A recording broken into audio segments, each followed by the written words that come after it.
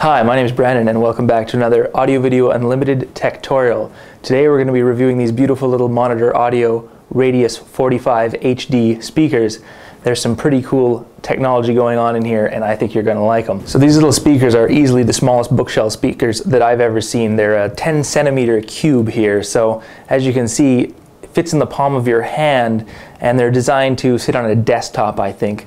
Now there's some reasons why I suggest that you probably put them on a flat open surface as opposed to inside a bookshelf. And right here on the back of the monitor Radius 45 speaker is the reason why I suggest you don't put them actually in a bookshelf. And uh, it's a tiny little CCAM gold dome tweeter from Monitor's speaker collection. This thing is pointing backwards. Now, usually you would expect to see the larger speaker on the front pointing backwards because lower sounds are less directional. So you can imagine my surprise when I turned these things on and I got them placed just right and I realized this really works. This tiny little tweeter bounces its sound off my wall and creates this big giant sound stage in my room. It's not as sharp uh, as, as having a, a tweeter pointed directly at you. Really, really, really high pitches are are a little bit softened because they've bounced off the wall at least once. But but this the spreading of the sound that you get from this is is very unique and uh, really impressive. So let's talk a little bit about what's packed into this speaker. Um, obviously, there's not a lot of space to work with, but it's amazing what they've built in here. Uh, so we have a two centimeter gold dome C-cam tweeter in the back, which is really slick looking. Unfortunately, nobody's ever going to get to see it. But then we got a 7.5 millimeter cone up front in these things. The grill is this beautifully recessed. It's a hard, it's a rigid grill. It's acoustically transparent, so you don't hear it. But if you got kids or cats or you know people who might poke at speakers, this thing's nice and solid. And uh, I think the fit and finish on this speaker is absolutely phenomenal. We're talking about really high quality piano black or white. You can get it in white as well or it also comes finished in a walnut veneer, which I couldn't tell from real walnut, and uh, I, I'm a little bit ashamed to say that, being somebody who really appreciates some good woodwork. But these guys have finished these things up beautifully. Plus, there's a real solid weight to this speaker. Um, I know you can't see it here, but this thing's actually really heavy for a 10 centimeter cube. I mean, it could be a 10 centimeter cube of lead. Um, all of the hardware that they've installed on here is is beautiful. These these gold finished binding posts. Uh, they got the banana plug adapters through the center, so if you want to plug right in as opposed to screwing down and clamping on a wire, um, it's been popular for people to do that. I don't really know if there's a sound difference between banana posts and clamping your wire directly on. It seems like same difference to me, but it certainly is convenient when I'm reviewing to be able to unplug and plug in speakers very quickly, so I have them at home. Uh, everything is fitted here beautifully. It's just really solid. It's bound into this aluminum plate. Um, then they have a, a, little clear plastic bracket which gives the, the, the mass sort of to really bite in for the, the connection inside. This thing's really solid. And you have a, an Allen um, screw back here too, which will allow you to hook them up to stands or wall mounts.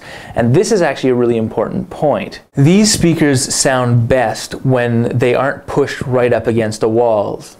So just like that little tweeter points backwards, so you don't want to put it inside a bookshelf where it's going to bounce around all weird before the sound can get out or might be muffled by the actual books providing you have books in your bookshelf. I have a record player in mine. But you want to probably mount this on a stand or on a, um, a wall mount. And this speaker does have a stand and a wall mount specially built for it by Monitor Audio, which you can get at any dealer which carries their product.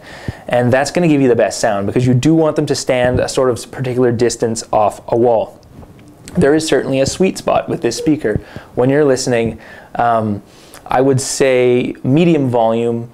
Uh, if you really crank these things up towards the top edges, you don't really start to hear distortion, but you do start to hear that they're just not handling the sound as well. It sort of sounds like they've hit a limit and the orchestra is getting really small. Um, so you want to stand maybe three, four feet back from them at minimum, and you want to have these things uh, I liked it about a foot off the wall, though their wall mount brings that into maybe four or five inches, which is also very acceptable. I just found that the full foot really let that tweeter bounce it, and you got this really wide stage. So let's wrap this all up with a little description of the sound that you're going to get out of these Radius 45s.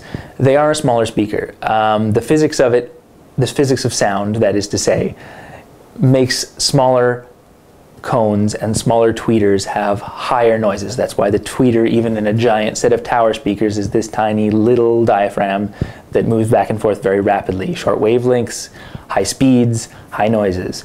So obviously we don't have a huge cone here either. Now the sound is beautiful and full coming out of these, but if you put them next to even a larger radius speaker, um, because they make these these bookshelf ones in actually three sizes. There's these really small 45s, and then there's two slightly larger bookshelves where the tweeter actually comes around and sits on top like you'd expect it to.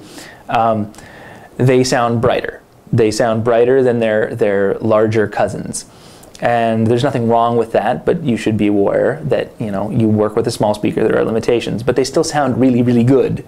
Uh, so I can't stress that enough. If it's space is your consideration, and you want a really great price point, these things are space and a good price point. So if you're interested in these Radius 45 speakers, they're available at any Audio Video Unlimited carrying monitor and on our web store.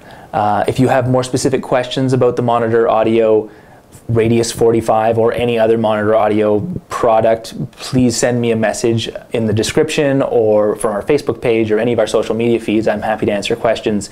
And if you live close by to an Audio Video Unlimited, go in and audition these things. They're very impressive and you could definitely do worse things with your afternoon. So I hope you've enjoyed this second Audio Video Unlimited Techtorial.